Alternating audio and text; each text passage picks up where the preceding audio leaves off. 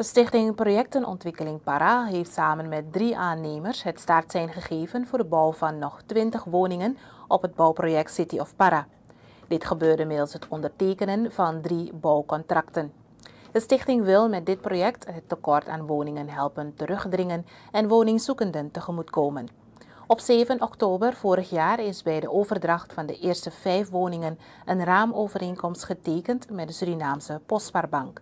Deze overeenkomst is bestemd voor het financieren van de woningen en is in januari goedgekeurd, zegt Hilary Sabayo, secretaris, tevens coördinator van het managementteam. Ondanks de koersschommelingen op de valutamarkt, waarbij de prijzen van bouwmaterialen en diensten onder druk staan, zijn we vastberaden onze doelen te halen. Dit zegt Sabayo. Volgens haar is het project nog niet voorzien van elektra en water.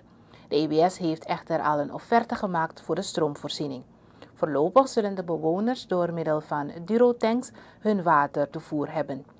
Hierna zal de stichting Projecten Ontwikkeling Para zich voorbereiden op het bouwrijp maken van een groter gebied voor de bouw van nog meer woningen.